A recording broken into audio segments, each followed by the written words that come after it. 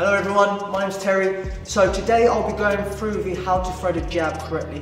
The jab is, the, you know, in my opinion, one of the most important shots, is the most important shot in boxing, because it can help you win a contest, and you can help set up a knockout blow. So it's, it's very important that you get the, the jab correct when you're throwing it. So first of all, you're throwing the jab, you want to make sure that we're in our stance. So make sure you're, for, for myself, I'm an orthodox, in my orthodox stance, keep those elbows tucked in. Yeah, so if the elbows ain't tucked in and they're a little bit raised, you sort of reduce the power from how you're trying to throw. So we want to make sure our elbows are tucked in nice and tight. Yeah? We want to make sure our chin's tucked in as well, so it's protected.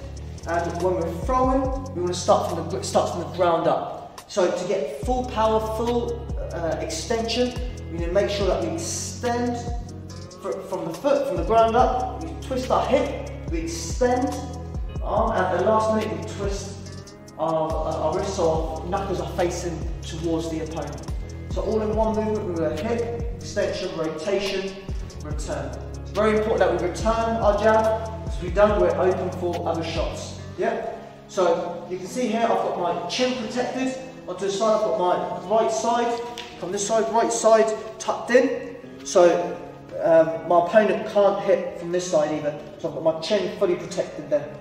So again, from that one all the way there, big extension, rotation, return. It's very important that it returns just as quickly as you throw it out, so you're not open for other shots from that, yeah? So if I bring in Ash for a second, Ash, just to show how it looks in the pad, so I'm in my stance, in my sort of orthodox stance, my arms are tucked in, and I'm fully extending there. Yeah, so if, I don't twist the hip, it's just an arm shot. So we're to make sure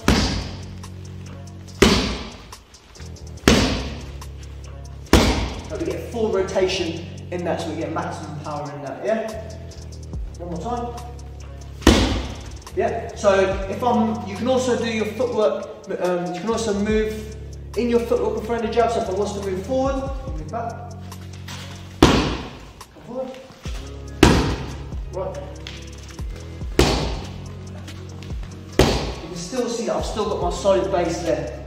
Yeah, so that's the sort of tutorial on how to throw the jab correctly. Um, thank you very much guys, cheers.